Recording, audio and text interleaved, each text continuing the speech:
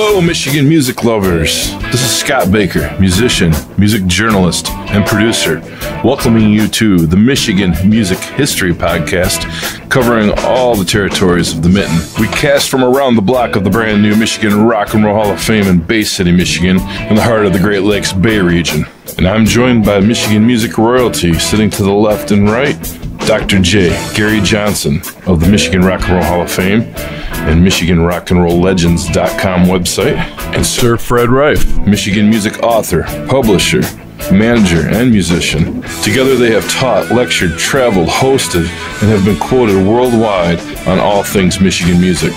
Chances are you stood next to them at the record store or shoulder to shoulder at concerts over the years.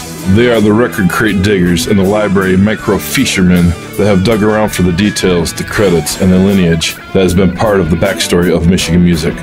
So grab your favorite beverage, hit the cruise, and take a trip back with us as we open up a can of earworms on Michigan's rich music history. Welcome to the Michigan Music History Podcast Show, channeling through all styles and eras of Michigan music from before you were born up through this very minute. And now, your host, Scott Baker. Hey, MMHP and the 989 listeners, we are giving you a little bit of a throwback episode today. This is actually our fifth recorded episode, but it's coming out as our 10th episode due to uh, what we had to do to mix things up in our season here. All the way back to March, but uh, Dr. J is covering the Supremes, Berry Gordy, Stevie Wonder, all the way through Rare Earth, Madonna, touches on Question Mark the Mysterians, uh, Sun Records, Motown Records, School Kid Records, Sir Fred throws in there. Lots of good stuff. The small labels, the subsidiaries, what made Motown huge in Michigan. Uh, a little bit of a interesting side note here. Pretty Things, SF Sorrow, their first record, which was the first concept album, beating the Who out. And there's even a little uh, Easter egg Dick Wagner bit at the end that we're looking for from our listeners, if anybody knows. So uh, jump back in with us here, dig in. We're going to give you the reasons why Motown is Michigan wrapped in a bow. Enjoy. Hey, welcome to the Michigan Music History Podcast. I'm MHP in the 989 here. We are uh, in the midst of a March warming, windy trend outside and uh, enjoying the weather actually. You don't have to be heated up today too much. So it's kind of nice outside. Oh, loving it, man. All the snow is gone. We got Dr. J and Sir Fred with smiles on their face. I think we're all a little bit uh, getting that sunshine happiness out. It's, it's a little early to call it a spring, but hey, we'll take it when we can get it here, and especially with uh, St. Patrick's Day coming up upon us here. How's everybody doing? Dr. J? Great, great. Sir Fred? Great. Good. So uh, since we last went on here, we uh, we talked Cooper and we've talked a few other things on some shows, but uh, Cooper hit number one, and uh, Gary was trying to explain how about Billboard's number one because it's so not as number one as it used to be, like top 200. You said? Well, that was, I think that's the chart that used to be the standard, but uh, they've broken everything down into different genres and so on. And so I'm, I'm trying to think. Uh, it seemed like Alice Cooper's new album was, uh, was it in the top rock chart or something like that? Uh, but you know, number one, whatever, it's Yeah. still great, and uh, it's nice to see a Michigan rock and roller topping a chart, no matter which one it is. Absolutely. I noticed last night too while I was looking at that because he was posting it on a few of his pages. Uh, somebody did uh, one of them live music magazines did a rundown of all his records, and they put Detroit at number five of his albums. That's pretty good for a 72 year old rocker with some great albums under his belt already. Yeah, I don't think I would rate it that high, but uh, you know, it Yeah. still was pretty entertaining. Though. Yeah, I was impressed. I'm like, there's a lot of good stuff going on with that right now. You know, rock and roll kind of needs this old man to kick it in the butt. But yeah, so uh, tonight we are doing the Motown night, and uh, Dr. J's got some uh, envious Motown stuff that he gets to share with us, and uh, hopefully, you know, add some points about what's going on with his um, Rock and Roll Legends Hall of Fame too, because Motown is definitely going to be a big part of that. And we're also going to swing into a little bit of the Caribbean side, Michigan's Caribbean scene, which Sir Fred uh, has really known a lot about, when, especially when he lived down in Ann Arbor. There was a whole scene that he paid attention to, and he he wanted to, to kind of blend that in. I think the Motown Caribbean thing, uh, two different kinds of styles, but that R and B is always underneath it all. And then uh, we're also going to hit two more records of the week with these cats. So uh, Motown, 191 number one singles coming out of Motown all these years. I Wow, I did a little research, but uh, that's incredible. yeah, I was floored by that. Then that said plus 10 cover versions of Motown songs that, that hit number one. I was like, yeah, okay. Welcome to Detroit. Yes, indeed. That was quite the record label. Well, they're uh, still a, they're not. I was reading a little thing like, are they still a label or what? And my my research took me to say, as of 2009, they are under the Universal music label um, umbrella because almost Many are. Most most are, there's just big umbrellas that are covering all the labels all these years. But Motown is not usually used as a record label. It's just filed under the Motown or the Universal umbrella. Uh, so at least for uh, the last 12 years, it's hasn't been really doing a whole lot. Matter of fact, last year it came out Stevie Wonder, our Saginaw's own Stevie Wonder. He left Motown after nearly 60 years on Motown. October 15th, he announced his own imprint label, and he was leaving uh, Motown for the first time because he's doing his own thing, which I think everybody's doing their own thing under all these umbrellas now. Right. Plus the freedom. But uh, what kind of Motown drives you wild, Dr. J? Well, I like the early stuff. Uh, I'm a big fan of uh, Motown when it was headquartered in Detroit. And uh, I thought that that was one of the worst things that happened to the city is when Motown left. I, I it just I don't know it kind of took the heart out of Detroit. I thought, um, but you know that music that they produced at Hitsville, USA, you know, the famous studio on West Grand Boulevard. Boy, that's pretty tough to top that, you know, and for really it from 1959 with that very first single, um, Come to Me by Marv Johnson, and right up until I think uh, Marvin Gaye, uh, What's Going On might have been one of the last things that was recorded at the original studio. And from that point on, pretty much everything was done out in California. And what was the first song you said came out of there? Come to Me by Marv Johnson. The, the most of that did too tremendous, even though because I got Yeah, it was a top 40. top forty. Okay. Yeah. The very first big hit that I have written in my notes, Mary Wells, My Guy, uh, May sixteenth, nineteen sixty four. Well, that was a number one. Okay, But they had they had a number one before that. Um, Please, Mr. Postman by the Marvelettes in 1961 was the first number one on the Billboard pop charts. But before that, uh, really the the record that really put Motown on the map, you know, as far as being able to distribute their own uh, releases and so on, was "Shop Around" by the Miracles which was a big R&B hit. That was number one on the R&B charts for I don't know eight to ten weeks or something like that. It got to number two on the pop charts, but uh, you know, Smokey.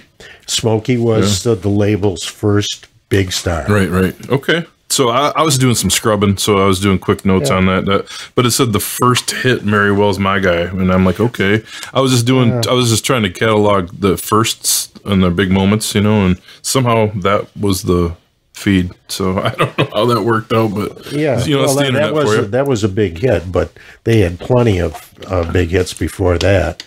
Um, but one of the interesting things about Motown was um, they made a deal right off the bat. Berry Gordy Jr. did with um, American Record Pressing in Owosso. And so the very first singles ever pressed on this would have been on the Tamla label, which was the first label that uh, Motown um, issued records under.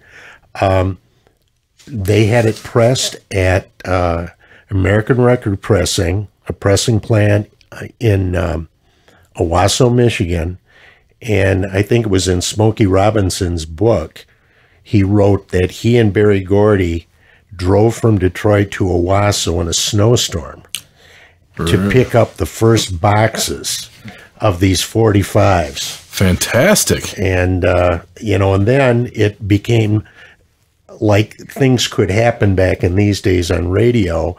It first became a big hit in Detroit.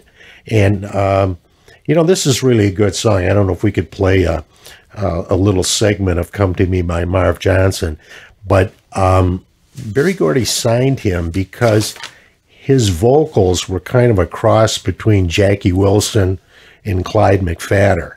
So he had a very, um, uh, I guess you would uh, call it a, uh, um, a commercial type vocal sound. And he had written this song. This was originally written by Marv Johnson. And then Berry Gordy, who of course got his start uh, by writing uh, Jackie Wilson's first five hit 45s. Um, he took the song, kind of sweetened it a little bit. And uh, like I said, it was, uh, it made the top 40. I think it reached number 30 on the pop charts and was a much bigger hit on the R&B charts. And uh, so it it uh, it started in Detroit, got a lot of radio play, and you know that's the way bigger companies sometimes would find records to release. Uh, you know, it would be a regional hit, and then uh, United Artists, a bigger label, got interested. They cut a deal. Uh, Marv Johnson had to sign to the Universe uh, uh, United Artists label, uh, and Berry Gordy cut a deal. Gordy was his manager. He produced his records in Detroit, and then provided the masters to United Artists.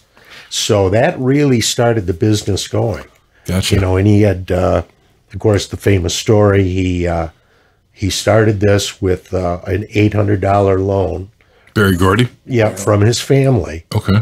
And probably because of the racial attitudes and the discrimination of the day, uh, Berry Gordy's father had started this. Uh, it was almost like a credit union for the family, and all the, the kids and himself contributed money into this thing. And then if somebody wanted a loan, uh, they could go to the family, have a meeting, present their idea, and if it was a unanimous vote of the family, then the money would be given to whatever project. And so this was Berry Gordy's. You know, he wanted to start his own label. And uh, so, uh, Now, was he a songwriter at that point too? Because I was reading yeah. about the songwriting, and, and it says he was the very first songwriter for Motown, and obviously he was the guy that ran Motown. Um, well, right. yeah, Yeah, well, he, like we had said, uh, he made his name in the music business writing Jackie Wilson's first big hits. When Jackie Wilson went solo, uh, he had Reet Petite, that was the first one, and then a ballad, uh, To Be Loved. Then the big one was Lonely Teardrops. okay. Um, that's why. Um, I'm trying to think, what was, did you remember the fifth one? There was another hit. Anyway. I know. But the, the big deal was, and, and I think Fred touched on this when we were talking about Mac Rice and the fact that the B sides of a single made as much money Oh, as yeah. the hit side. That's crazy. Yeah. So Yeah. when when Berry Gordy was writing these hits for Jackie Wilson, he had formed like a songwriting partnership with Billy uh, Davis, his good friend, and his sister, Gwen Gordy. And so when the hits made money, his share was oh, divided between three three people. ways. Okay. And of course, it'd be the situation you write the hit and you're making one third as much money as a songwriter on the B side. so he had a big meeting with Jackie Wilson's manager, um, and he wanted, you know, access to the B sides Right. you know, I'm, you know, I'm only making, I, I need more money. And so I can provide the B sides. And of course, you know, there was all the kinds of shenanigans in the record business where you know you would you could give the B side to people you knew or it. yeah somebody uh you know that that was an investor into the label or whatever you know all kinds of things under the table going on and so uh Jackie Wilson's manager was a, a guy by the name of uh, Nat Tarnopol, um, an interesting guy in his own right from Detroit. Um, he turned him down, and that's when uh, Berry Gordy, you know, broke his association with Jackie Wilson and, uh, you know, went into business for himself, so to speak. Wow. Wow. Incredible. Fred, you uh you got some memories with all that too? I seen you wanted to pop in there a couple times. haven't? Yeah. well, I like the, the early stuff as well. Um, I wanted to mention another B side. Uh, Gerald Marks, who wrote the song All of Me, he had the B side of Gene Autry's Rudolph the Red-Nosed Reindeer. Did he really? Oh my So gosh. he must have made a lot of money off of that one. What, sure. what was the B side? I can't remember it right now. okay. Excellent. But anyways, I kind of want to give um, a Saginaw interpretation or how Saginaw had something to do with uh, the beginning of Motown, Yeah. and that's with uh, the orchestra leader Choker Campbell, who was from Saginaw, Okay. and You have this in your book, right? Right? well, it'll be in the next one. The next one. Okay. I remember you saying something about this. And I, I can't find anything about Choker Campbell in Saginaw. His real name was Walter Campbell. Uh-huh. And I've researched and researched, and I, I guess I have to go to the library and look up um, some of the yearbooks. Hopefully, he'll be in there. Because he left Saginaw when he was um, 19 or something, so he went to school here Okay. or there. Um, so, anyways, Choker Campbell was the orchestra leader for the Idlewild Revue on the other side of the state. Arthur Braggs and his Idlewild Revue. And this is other side of the state, like as in Grand Rapids? A little north of Grand Rapids. Okay. Almost to Or is it Traverse. south? Well, it was a resort area. Right. By Baldwin, Michigan. Yeah. oh, near right. Baldwin. Okay. Yeah. Yeah, for, Interesting. for black people. Right. Okay. It was the biggest black resort for in America at one point. Oh, okay. But anyways, Choker Campbell was the orchestra leader for Arthur Braggs, who was also from Saginaw, and the promoter for um, the clubs up there. And I was telling a, a, a good friend of mine in Saginaw, who's a sax player, and his uncle was Sonny Stitt.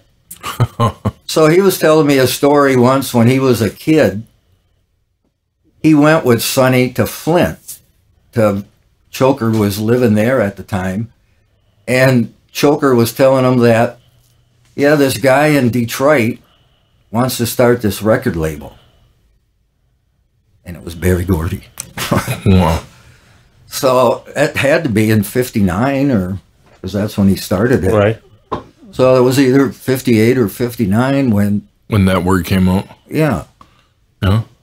And uh, so, anyways, Choker Campbell went down to Detroit and ended up becoming the um, Motown Orchestra, you know, who toured with the acts, who was on like this album and He was the orchestra leader for. Right. Uh, uh, okay. just for the touring, not, you know, the Funk Brothers were. okay. And none of the Funk Brothers, I don't think, was in The touring band? No. Okay. I was going to ask you that because that, that, that awesome movie that's outstanding in the shadows of Motown. I have that on the DVD or Blu-ray. I don't recall his name No. coming up in that. No, he was just for you know the touring, and that's what this is, uh, 1963, and he's, you know, he did it until I think when they moved to California. Hey, you could put that album to your on your right side, and you can show it right to that camera that's up on that book there. oh, there you I go. didn't know we were. Yeah, we're live. Move it over a little bit towards the microphone. There you go. That's what he's looking at. Live at the Apollo What's the name of that whole record? Because you, you just did the. Recorded live at the Apollo, This past- Volume 1, 1963. This was uh, Sir Fred's pick of the week last weekend. We were warming up for the Motown week here, and uh, we'll, he'll be talking about that album in depth here in a few a few podcasts. But uh, so Choker, how long did he last in the organization? You guys? Tell Well, I think up until they moved to uh, California. I'm not totally sure interesting. because he went off and did some other thing. But he's a Saginaw guy. Right. Fantastic. Wow. And another guy that was in the orchestra, a Saginaw guy, was uh, Jerry Holmes. Also played the saxophone. Huh. He had a band, he had a jazz band in Saginaw later on called Silk. But um, Okay. You know, I just wanted to talk about the Saginaw. Yeah, the the, the connection here. Get a right. connection. Yeah. Sure.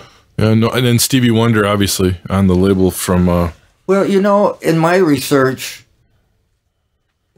Stevie, his mother, moved to Detroit when he was six months old. As far as the research I got, and I've had people on Facebook say, "I remember this blind guy at Saginaw High," and I'm going, "I don't think that was Stevie." you know, and things like that. But as far as I know, his mother moved to Detroit when he was six months old. I don't know where the historical marker is at. but, Yeah, uh, I'd, I'd have to. It seemed to me it was I just it was a that. little later though because didn't she she moved in part so that he could go to the Michigan School for the Blind, right? I think that was Well, I of the think deal. she was getting away from a bad her husband Okay, or or something yeah. Stevie Wonder's Yeah, father. I'm not sure about that. but I'm not totally sure. I'm, you know, I had yeah, a- Stevie would Just- possibly know. just over the yeah I, I, I am unfam- I don't really know my uh, friend Rick Robinson or Robinson he posted to me this week uh, the historical marker in Saginaw that's a little rock with the thing on it and then that little thing and- Somebody just put it on Facebook yeah it, today oh or yesterday I- or he just sent this to me a couple days ago and I'm like oh okay he says isn't this sad and I'm like I'm like well it's cool I think because I wish Madonna would have one like that in Bay City but his Well, I point guess it's was in a parking lot now. yeah, he says his thing was there's never enough of that around town promoting some of the great artists. That's how our podcast kind of feels about a lot of Michigan artists and where they're at, and there's never going to be enough promo of who come from where, whether it be question mark from Bay City, Madonna from Bay City, Stevie from Saginaw, or your backstory to fill it in on how that came about, which is fantastic. I didn't know that. Uh, he might not have been born here. No, he was born here, but you know, left at six months. Yeah. Oh, that, that's what you're saying. Okay. Yeah, I get it. Yeah. But I'm not totally sure on that. Okay. But I, I, you know, again, you don't know how accurate uh, Wikipedia is, right, but this says that uh, um, she she moved um, with her children to Detroit when Stevie Wonder was four. I heard that one too. So. Yeah, so But he left Saginaw yes, we do know that. Uh, Well, yeah, but at this- 12 years old. Fingertips, yeah, very still one of my favorite Oh songs. man. Yeah. Yeah. uh, harmonica players tell me that, that that's a great harmonica song for somebody 12 years old, especially. Oh, I bet. Yeah. He was so talented. It's, he still is. Still is. Yeah. Yeah, and then um, you know we were talking about Frank Rodriguez, who just celebrated his seventieth birthday. Yes. Uh, that Frank uh, did a little nod to uh, Stevie Wonder in uh, Question Mark and the Mysterian's second charting record. I Need Somebody played that little bit of Mary Had a Little Lamb. Oh, Yeah, do you remember that? Yeah. Which, Yeah, yeah, which yeah. Stevie did in Fingertips. Uh, little tip of the hat. Uh, Frankie had a birthday yesterday. yeah, happy birthday, Frank. A good guy. Uh, I love it. I, I remember my one of the first times I we were when they did the big comeback shows in the late '90s when Chad Cunningham was uh, putting him on his label Bullfrog out there, and they were touring New York and around again. that winter, I was in Best Buy picking up some CDs, and they just just when they started carrying the Casio keyboards and all that. And I'm not paying attention. I'm just checking out the CDs, and all of a sudden hear, and I'm like, "What?" I go around the corner. Here's Frankie laughing. He's he's jamming on the Casio. it was too cool. Yeah. I'm like, ah, it's awesome, man. we got the we got the original cat right there. That that line inspired so much music and so much music around the world. But yeah, they're uh, that's cool. He t- he nodded to Motown, little Stevie Wonder mot thing there, and uh, their second record. Have you guys been Yeah, to well, the? in fact, that was a number one hit before my guy, also, oh, yeah. because that was '63, right? When uh, Fingertips was number one. yeah, I think so. Yeah. Yeah. Oh, okay. awesome. Have you guys been to the Motown Museum? Me no. Oh yes. Yeah, I've been there Several three times. times. yeah. Oh, I'll go great. again. Well, you know they're they're putting a tremendous amount of money into expanding that. Right. It's going to be a great. It sounds like a big building behind the original uh, location of uh, Do you- Do USA. you remember the uh, display of the Supremes dresses that they wore on the Ed Sullivan show? Yeah.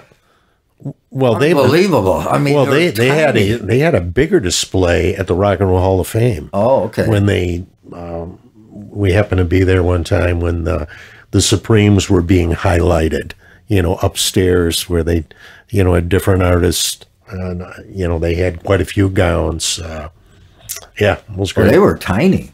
Those Yeah. those dresses were. That's cool. I, I would. I've been waiting for the day to go down there. I have yet to Oh, make that's the trip. great. it's is very much worth uh, going down. It's uh, it's wonderful. Yeah. and just to you know just see in that studio. Yeah, out the small studio, and then upstairs where they they had the echo chamber where you could do the vocals. Uh, a little opening. Yeah, you in can actually ceiling. go up to Berry Gordy's apartment up there. Yeah, Wow. yeah. Oh wow, fantastic! No, I, I, uh, I'm, I know it's going to be on my list of, you know, my bucket list of things. I, I've hit the Rock and Roll Hall of Fame in Cleveland a few times. I times. haven't done that yet. I've done that three or four times, but um, Motown, I don't know. I've never stopped there. I've Well, we did a. Uh, I ran a couple trips uh, through the Osher Lifelong Learning Institute at Saginaw Valley, where I've been doing the rock and roll classes for the last uh, uh, 17 years or so, and uh, so we did uh, we did a bus trip where we drove down to Cleveland, uh, went to the Rock and Roll Hall of Fame, spent the day there, stayed overnight, and then did a tour of Cleveland, which was kind of interesting. I'm, I'm sure you've all seen the movie uh, Christmas Story, which was shot in downtown Cleveland, a lot of the scenes there. Um, and then on the way back, we would stop at the Motown Museum and take the tour there. So I wow. did that a couple times. That was a lot of fun. that one particular trip was out the was out the um the Supremes trip you were talking about, or just No, that wasn't the one where the Supremes were. They had uh, they had a big thing on Johnny Cash. They had his tour bus there, and um, you know I think there was a big uh, Johnny uh, Johnny Cash display. You know they just switch it around various times, uh, highlighting different artists. It's always fun to go to the Rock and Roll Hall of Yeah. Fame. Um, you know, there's places where you can stay. You know, because it's it's pretty difficult to go down there you know, if you're driving from the Bay City area, you know, it's probably about four, four and a half hour drive to get there. And, you know, you want to be able to spend the day in the Hall of Fame, really, uh, you know, Take to it all see in. everything. Yeah, there's so many videos and different things and all kinds of interesting stuff to look at. So you want to, you know, give yourself somewhere, you know, at least six hours, I would think, Mm-hmm. to be able to adequate, uh, adequately uh, go through the hall and see everything you want to see. And then, you know, Cleveland's a pretty good town. They've got music there and, um, you know, good restaurants and so on. So you can usually stay in a place that's not too far from the hall. Uh, you know, we've stayed there when, when Lynn and I have went there. Most of the times, we, I think every time we've been able to walk to the hall. that's awesome. Yeah. last time we were there was the big induction uh, a couple years ago with Stevie Nicks and uh, Roxy Music and The Cure, and uh, you know, it, it was all on closed circuit. But uh, yeah, it was pretty rowdy in there. You know, it used to be when we went down, like for example, the first time we went to see a um, an induction ceremony was when Madonna was inducted, and you know I'd done a lot of research on Madonna in Bay City and so on, and you know I was very interested in in going down there, and you know they had uh, you know when uh, when Madonna was inducted. Uh, you know, they had Bay City, Michigan Yeah. flashed on the screen, which was pretty darn cool. I, I will see. never forget that when I saw that pop on was- was TV. really yeah. neat. And uh, then, of course, uh, she made what I thought was the greatest rock and roll move.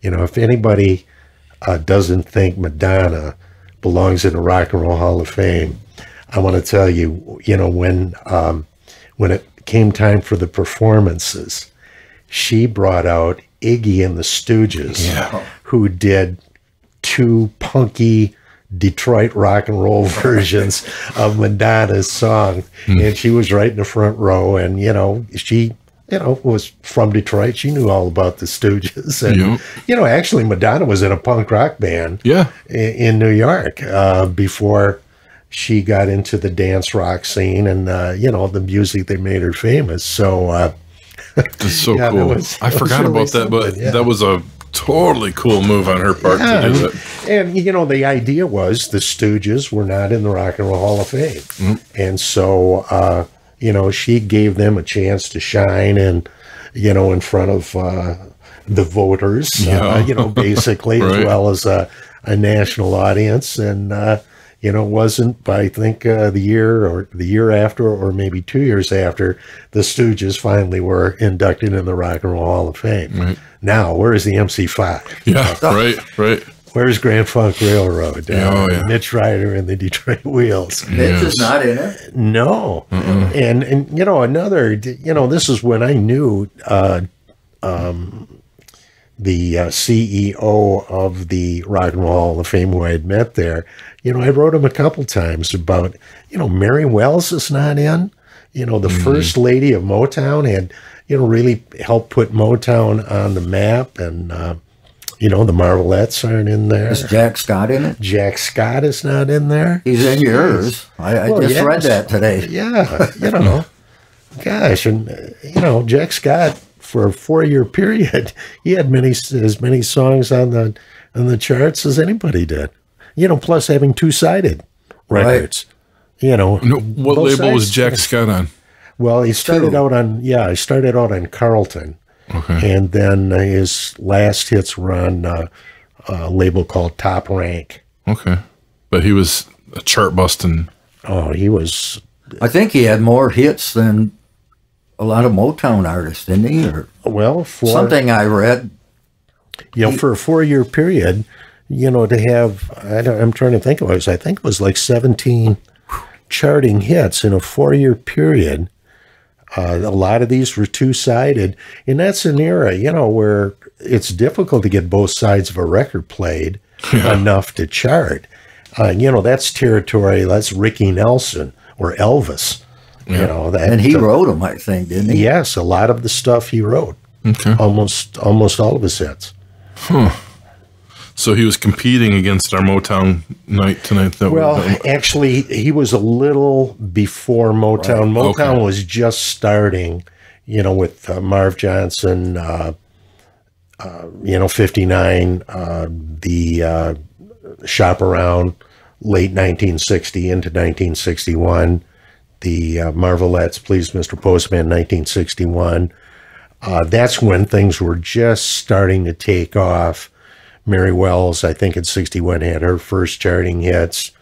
I don't know, The Contours, Do You Love Me? That was probably 62, you think? Uh, somewhere in there. Yeah. You know, that was, you know, Motown was just really starting to take off. And then, you know, where Motown really, really hit big starting in 64, you know, with the Supremes and the Temptations and the Four Tops, plus everybody else, you know, that had already been and that part yeah. of the label. And yeah, which is like when all these other R and B artists were kind of getting bumped off the charts by the British invasion, the Beatles, you know, Motown was right there, you know, and probably helped because the Beatles were big fans of Motown. Right. Yeah, great timing on that. All Yeah. that rock and roll all at one time. Right. Incredible. Yeah. Yeah, and having the um the band they had uh, um like standing in the shadows guys, you know, all those members and the, the, the guys that would play behind all the songs. It was uh bringing the R&B rock the northern version of it, you know, which you know down south you had the Muscle Shoals guys and all that, but These are all jazz guys too, and they're all in this book. yeah, no, that before Motown, history of Det- of jazz in Detroit, basically. But uh, most of all the um, perfect. Of the Funk Brothers are in this book as jazz musicians. Uh, they all had their chops before they, they rocked out or R and B grooved it. That's a heck of a book. What, what, what? Tell us a little bit about that book, there, Fred. Well, it's written by Lars Bjorn and Jim Gallert. Uh, Lars is out of Ann Arbor and Jim in Detroit. And uh, they just wrote a book just to let people know there was music in Detroit before Motown. Right. I mean, same as the blues and Yeah. R and B, but and this is really detailed. Speaking of jazz and blues, were there jazz and blues artists signed to Motown at any point? I, it hmm. seems to me that I, f- I remember someone saying. I mean, it could have been later in the '70s or something, but did, did any of that sure. genre touch the Motown label? Well, you know, Berry Gordy, Berry Gordy Jr. signed a lot of different artists. I know he signed Billy Eckstine, who was, you know, somebody he really admired. Uh, as I guess he would be considered a jazz vocalist, wouldn't Yeah, I guess so. Yeah. He also hired uh, uh, Johnny Powers, yeah, rockabilly guy. You know it. who- and Johnny was on our label, Schoolkids label, but so I got to know him pretty well, and he was promoting basically as the only guy who's been on Sun and Motown. Oh, really? Yeah, in fact, Johnny Powers uh, might have recorded the last single uh, that was done at the original Sun studio Okay. in Memphis. Uh, uh, Sam Phillips had developed this very sophisticated new studio. Um, I think it was probably outside of town, um, but it didn't have the same feel really as that great studio there on Union Street. Was it 706 Union Street in in Memphis, uh, where he recorded all those great singles by Elvis and Carl Perkins, Jerry Lee Lewis, Johnny Cash Yeah. you know, and many, many others. Boy, that's uh, Dr. Ross. Dr. Ross. yes, indeed. balls. Ike Turner, you know, Oh, Rocket 88, you know. uh, so, yeah. Right on. I, I was just curious of, of uh, other genres touching that soul and R and B, that Motown, Detroit groove, because you guys would know more than I would about. Well, that. there was Fortune Records, which that new book is out. Right. Mind And- over matter. JVB, Joe Von Battle, he recorded a lot of the R&B people, okay. Wow. As well as a lot of gospel. C.L. Franklin, Retha's father. Okay. That was on Motown. No, this was on JVB. JVB. Okay, I didn't. I didn't know. Okay. All right. Yeah, a lot of those smaller labels kind of seem to, you know, go out of business when Motown got really big. And of course, Berry Gordy was buying up a lot of these Right. smaller labels. What are So- some of them smaller labels that, that he bought up back then that that did something? Tri-Phi or Yeah, Tri-Phi and Harvey, those were uh, Anna. Well, that was his sisters. Yeah. Um, well, Tri-Phi and Harvey were uh, Harvey those Fuqua. label. Yeah, Harvey Harvey Fuqua uh, formed those labels, and uh, that's where Junior Walker and the All Stars came from. The Spinners also. Okay. I'm trying to think who else was was on those labels. Well, then he bought. Um, uh, was it the? Um, he bought the Golden World Yeah. Okay. label, and that's where he got the second studio in Detroit, the Golden World Studio, which was probably better equipped than actually Hitsville was. Um, is that where he got Edwin Starr I think so. from there? Um, yeah, it wasn't Golden World. What was the other label there that Edwin Starr recorded on? I think- Can't think. You know, he had. Uh, I saw Edwin Starr. At Agent Toronto Double O Pop Festival.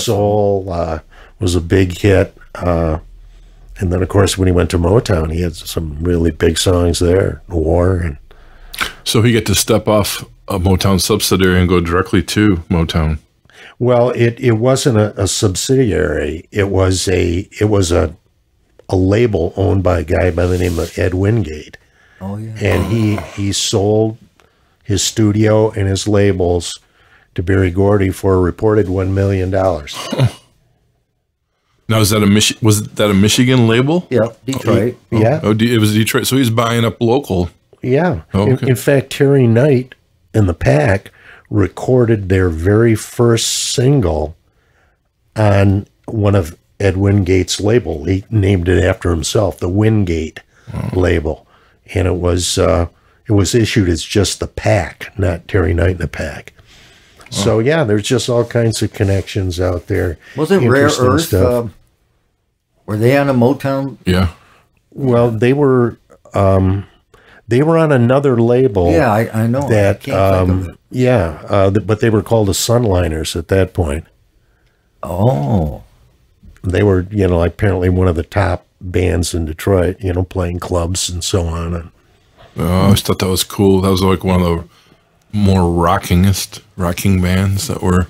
The long version of get ready Get Ready. Oh, it's yeah. always good. It's 22 classic. minutes long or something like that. I remember when they came to Bay City, that one year playing the pig gig. Right. That was worth just watching that alone. They, they were tearing it up. There was a lot of energy in their music, and you know that, that's that's some cool stuff there to tie into Motown, which you don't think you know Motown. You think Supremes or you know something. well like that. motown that rare earth label uh, was their attempt to kind of plug into um, the uh, album rock uh, stuff that was kind of became a real big deal FM.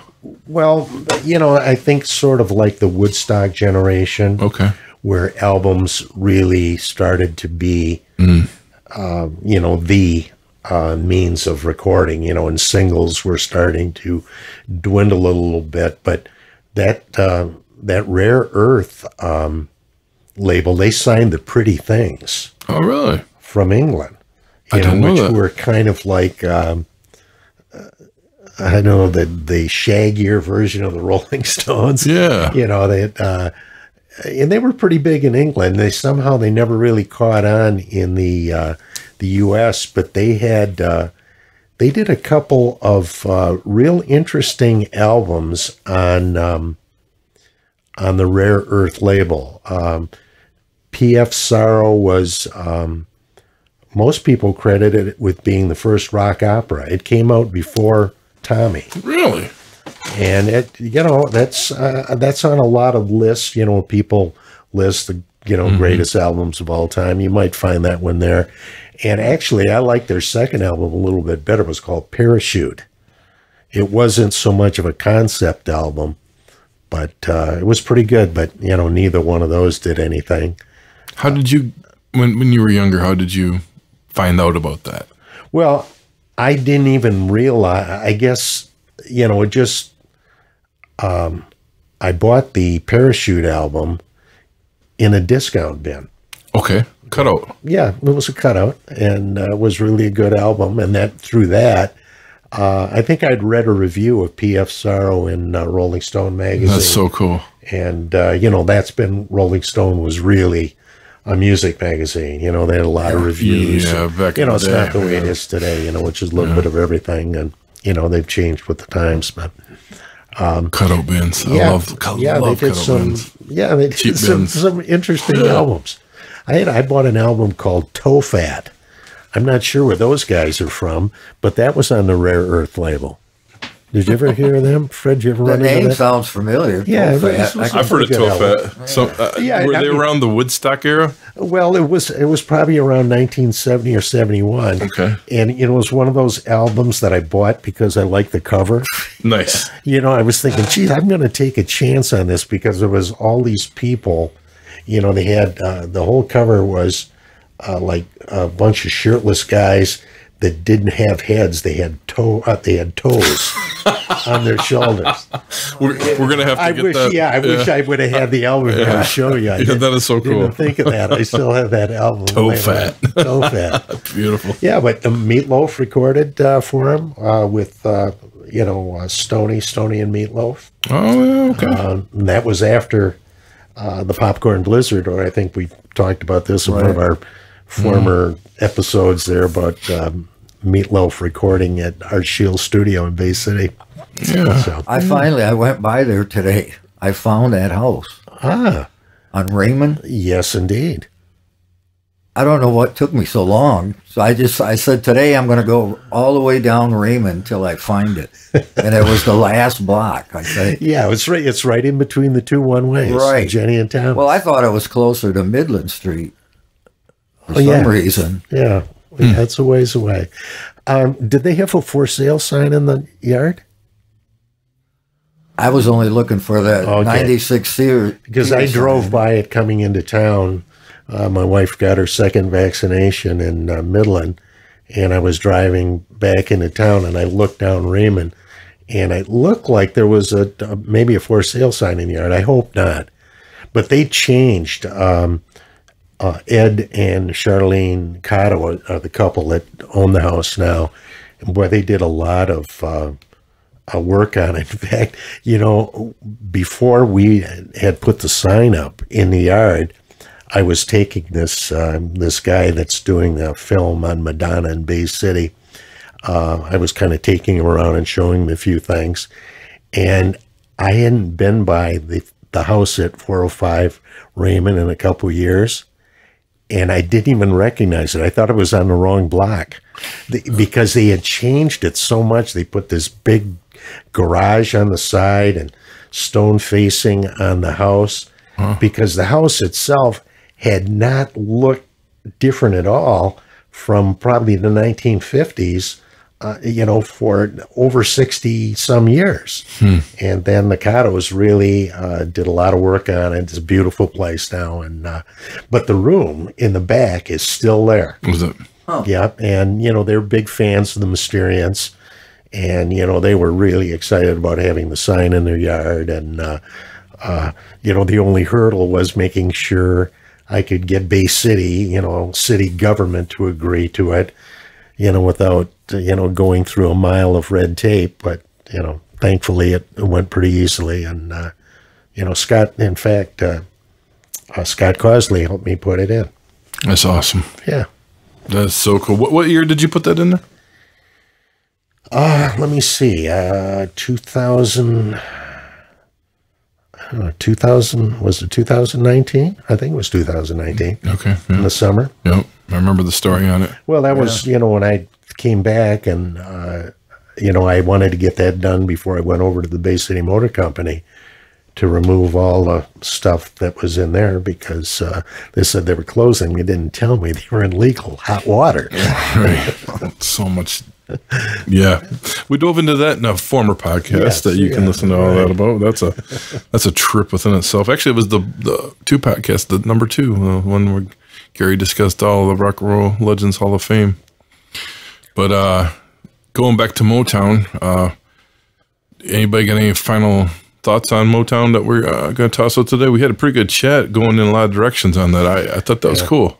Well, I mean, there's that's such a story. I mean, you know, of all the Michigan labels, I mean that there's nothing that even comes close to Motown as far as you know success. It, it was just phenomenal. No, I remember you guys mentioning reviews and shows like that back then, like the IMA and all that. Was there a Motown review that? Because if I recall, isn't that one a record Yeah. thing there? Yeah. Okay, That's what Okay, I Fred's wondered got. about that when Motor you. City, they're calling it. Okay, that the vinyl that Fred will uh, discuss in deep detail coming up here in a few podcast. Fred's got some cool old vinyl though. Except I want to hear about, more about Toe Fat too. So. right.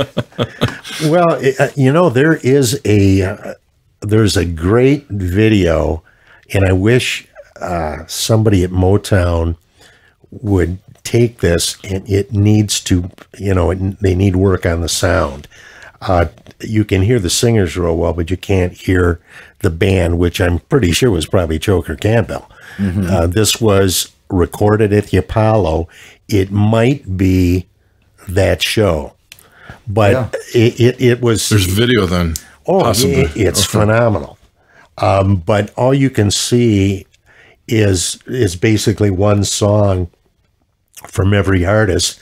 But this was this was before the Temptations had a hit, so they were on the show, but they were on it only as Mary Wells backing singers. Wow. So before Mary Wells came out, they did this little number, you know, all about Mary because she was, you know, the big female star on Motown.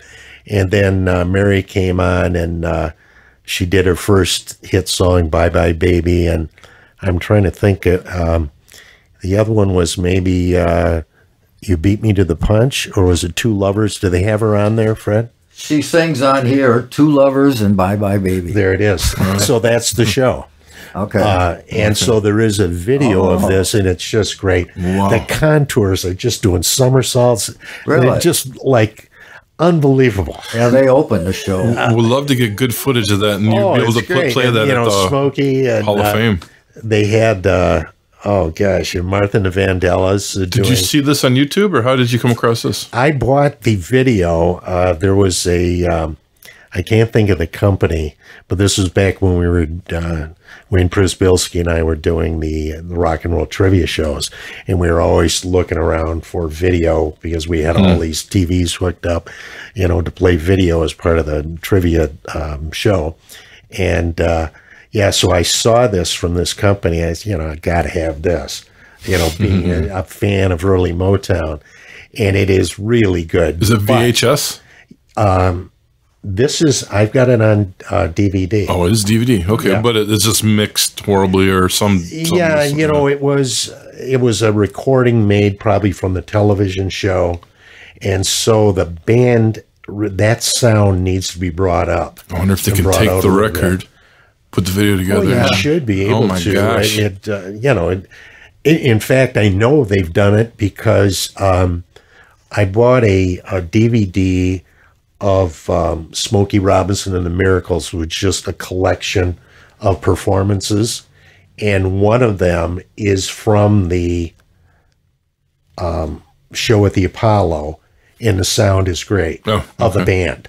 So they obviously took that performance and you know uh, did a little magic uh, and to bring out the sound of the band. Uh, so if they did that, it It's, uh, This is possible. volume really one, so there might be. There's probably a couple different nights taped well, out yeah. there. I mean, Yeah. you know, you got an album there that's probably what maybe thirty-eight minutes. 40 minutes Probably, long, right, something like that. That's about as much as you can get on a vinyl album. Mm. So, yeah, I'm- I'm sure that the show probably lasted, you figure, an hour and a half to two hours or something like that with all the Motown acts coming on. incredible. I wanna. I definitely would like to see something like that come out. That's that's history that needs to Oh yes, I mean that that's just Motown Get polished. right at the point where it was about to blast off because the Supremes performed and it was you know they had this was would have been uh, before uh, Where Did Our Love Go or even before Let me go the right way. yeah yeah so they didn't even have uh, when the Love Light um, shine I'm trying to think what the long title is when the love light starts shining in his eyes that was their first top 40 hit so yeah that had to be early Well, this was 63, yeah. yeah wow. Yeah because i think later 63 is when they had their first hit you think they would have sang that for sure you know if that was uh, if that had been out yet Before we sign off on Motown Talk, I wanted to throw out their uh, Don Richard, who was our he's the webmaster and the guru behind a lot of Dick Wagner stuff when we were working in Saginaw. Don says the holy grail of Dick Wagner recordings is Dick played guitar on a track for Motown for somebody. He couldn't remember who. Yeah, I remember you writing me about that. I think I had never heard of that. Yeah, and he says if and if anybody knows what track that was and the 45 that's out there, did I write what kind of what 45? I don't think the name of it was out there. No. It was just it's he, but Well, Dick I- had I- mentioned to people he played on a Motown track. That was his first professional recording. Really? Yeah. Yeah, And, uh, if uh, yeah, if anybody has the title of the song, you can track that down because there's all kinds of yeah, we didn't have the title sites, obviously yeah, then. where you Yeah. could find out, um, you know, who did it and That's like considered the gold standard of trying to find his stuff because nobody knows what it is or where it's at or what it, he I, he told a lot of people about it apparently. So I have him on a reggae album. He plays a guitar solo. oh really, It's on Atlantic. really. I forget the name of the reggae band. When we do our reggae thing next week, or our next podcast coming down the road, bring, that in. That's Uh-huh. I a will. nice little history touch that I will think people would It's a great solo. I mean, it's kind of a little out of place in this reggae thing, but it's a It's know, like a I'm rock sure and that- roller and, right. and reggae there. No, it makes sense. No, the, I want to throw that out there to our listeners. If if you if you can uh, if anybody knows that or any Motown connections that remember Wagner's, I guess it's in a there was a ledger of players back in the day and all that. Hmm. Don, Don went into some detail with me about it, but uh, I'm sure it's written somewhere, or you know, before everything got. yeah. Well, that was a problem at Motown is uh, the players were never listed. That was a big problem. In fact, the first record that they were listed was Marvin Gaye's "What's Going On." oh You know, really? That's nine- 19. Well, it was. It, it's going to have its 50th anniversary in May. and that was it your was album of the week last weekend. Yeah. We'll be talking about that one coming up here too. The Caribbean portion and record of the week speak that we mentioned in the podcast will come out down the line in another future episode. We have a lot of album of the weeks that we have been posting, but um, we uh, due to time constraints on our show to trying to get you 45 minutes to an hour, we have been uh, putting aside. So that will come out in a later date. In the meantime, we hope you enjoyed the wrap of our Motown, Michigan show, and we will see you again next week for the next episode of Michigan Music History Podcast, the MMHP in the 989. Thank you for tuning in. Additionally, Dr. J can be reached at MichiganRockAndRollLegends.com. Sir Fred can be hit up at FredReif.com. And Scott through ScottBakerMusic.com. You can also search Michigan Music History Podcast on Facebook and YouTube. You've been listening to the MMHP in the 989. From all of